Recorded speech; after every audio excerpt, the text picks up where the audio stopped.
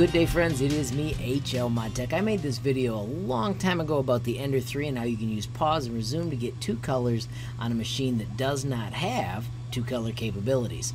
So my Ender 3 is locked up at school so I can't test it, but I do have a Geeetech A10 I can test it on and I had a user that asked me just lately, how do you get the auto pause to work? So my friends, let's get cracking. Alright friends, so I am in Cura 4.6. I've got my Geeetech A10 loaded. Let's go to the 3D modeling folder and that thing was named Heart Keychain and I had my initials after it. So when it comes in, it is this large and it's going to take 14 minutes to print. Note this little guy. I'm going to delete that real quick and I'm going to teach you what it is and then I'm going to remind you to always double check and see if you see it there because you may not want to use it on the current print because it was built for another print. So we want to change filament when the letters happen. The best way to track that down is to go to preview and then if you look at the preview layers you can see the design be created.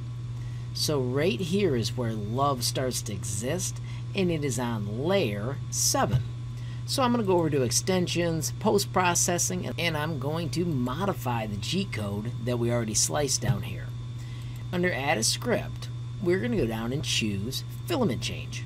We want to change filament at layer 7, and then we can hit close and we've got our little script loaded and now my computer has connected and we can print via USB. So my friends, let's see what we get.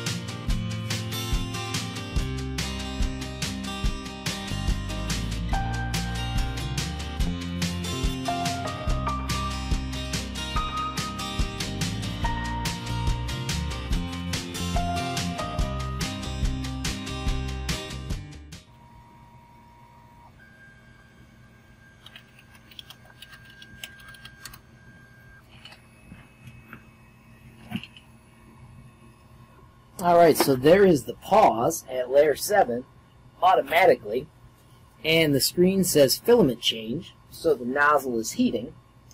I'm going to get my spare filament clipped, and right there, it has started. First it pulled it in to purge a little, and now it's extracting the filament on its own.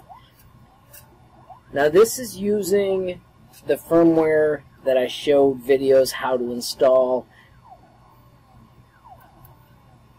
by Vert.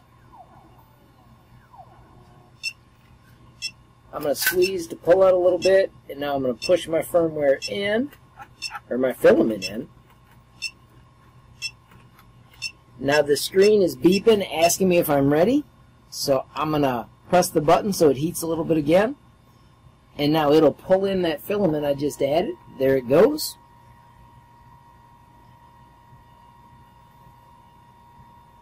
I can feel it being pulled through.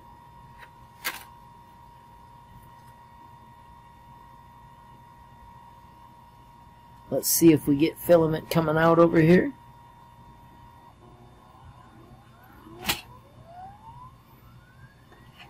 Yep, there's the purge of the old gray. And the new white. Do not need that stuck up there. And the screen says purge more, and I'm going to tell it continue instead because it's ready.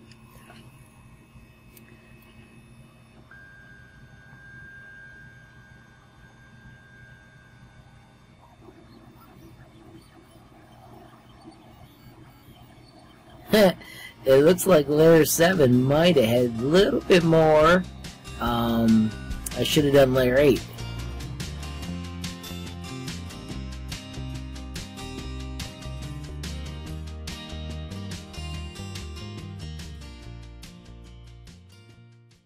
Alrighty friends, so I cannot verify this works for an Ender 3. I need somebody out there to do that test for me.